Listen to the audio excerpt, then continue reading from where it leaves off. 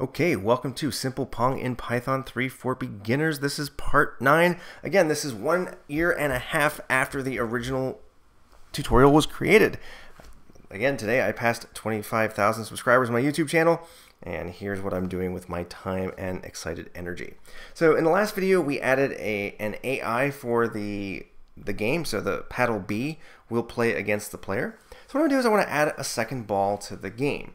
Now, I'm going to do it very basic style so that beginners can really understand it and just kind of see how things work. Now, I always say this and I'm semi-serious about it, uh, semi-not serious about it. So I like to say that I'm kind of a lazy person. So I'm just going to go ahead and copy this ball information. And I'm going to go ahead and just call it ball 2, ball 2, ball 2, ball 2, ball 2, ball 2, ball 2. And I don't want them to be on top of each other. So I'm going to go ahead and let uh, ball two go to the left instead. Doesn't matter. Just pick something different. So I'm to go ahead and run it, and we'll see what's going on. Okay. And then we can, from there, we can kind of just debug it and, and work on the program and see what we need to do. Okay, so you can see we do have a second ball. The AI is still doing the AI thing, but this ball isn't moving. So let's go ahead and get that working. So again, if you understand how the basic program works, adding a second ball is very, very simple. So you see here it says move the ball. So I'm just going to go ahead and copy that.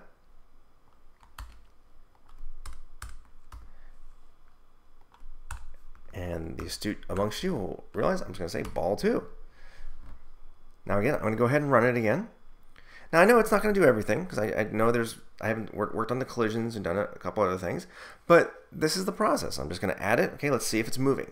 Uh, beginners have this tendency to try to program the entire thing at once, and then of course they get a bunch of errors and they can't figure it out. So if you do it step by step, you know that part this first part's working. Now this is the second part. So I know exactly where to look if it's not working. I know where the errors are. Okay, that's interesting. Uh, ball two. Okay, so yeah, I missed that. Ball two. I need to change them all to ball two. It's really hard to talk and code at the same time. That's all I'm saying on the subject. Okay, let's go ahead and run that again. And there is ball two.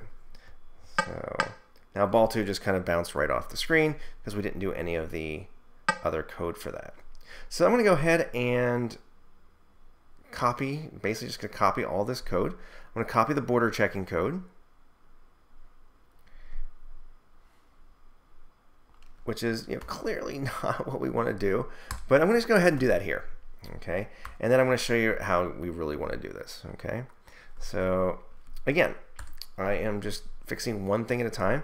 So in this whole section, I got to change everywhere it says ball to ball two. I could do a search and replace, but let's just go ahead and do this this way. Uh, this is my punishment for writing my code in a very poor fashion. And if you write your code like that, you should be punished as well because this is not the way you want to do things. Okay, so hopefully now the border collisions are working. I'm going to go ahead and run it again. Okay, let's see if it bounces down here. Okay, very good. So it did, it did slow down. We see that a little bit in this game. Okay, so it's coming back, and once it goes off the screen, it is going back to the center. Okay, so now we have to deal with the paddle and ball collisions. So I'm going to go ahead and copy that and again, same thing. Ball two, ball two, ball two. And I gotta go over here to ball two, ball two. Oh my gosh, there's lots of lots of these things here. Ball two, ball two. And again, this is you know, for a beginner who doesn't know any better, it's okay. We're not to lose any sleep over it. Okay. But again, once you get past the beginner stage, you want to stop doing things like that. In the next video, I'll show you how to how to get around this. At least that's the plan. So I'm going to hit run. I'm going to run without debugging here on Visual Studio Code. And hopefully the collision is working. And so let's get down here and see. Okay, so now it is working. But now we have a different problem. If you notice now, this paddle will only follow that ball. Okay, so again, when you add stuff to a program, you start to see you know, oh, I forgot this, I forgot that. The testing process is so important.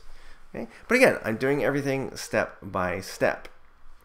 So for the AI player, what I'm going to do, and again, this code will work, but it's not elegant, it's not efficient, it's, it's not the best way to do things. Watch what I do here. I'm just going to say, so if ball.xcor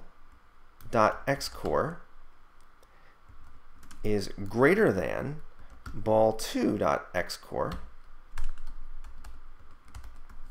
you know, forget the parentheses.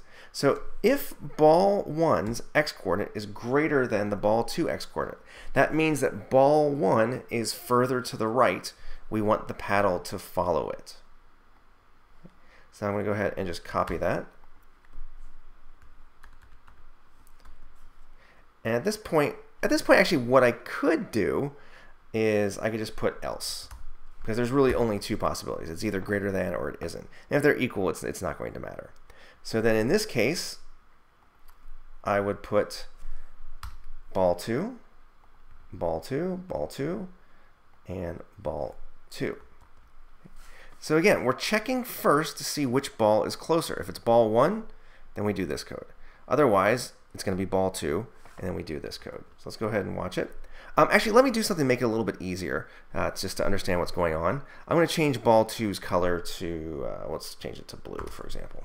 That way we know ball 2 is blue. So let's watch this and see what happens to our... So we're following the white ball. Okay, we're following the white ball. Oh, did you see how it jumped up there? Whoa, that was fast. I don't know if that was fair, but... Uh, okay, and then now you see how it jumped up there. There's probably something I should do to fix that, but I gotta, I gotta give that some thought. Again, as you're adding features, you will see that how okay, this change here affects this thing over here that we thought was working just fine. And I do know how to fix it, and maybe I'll, we'll add that later uh, as well. But I, I kind of thought that was kind of cool how it just kind of zoomed up there. But I do want to get to the next lesson.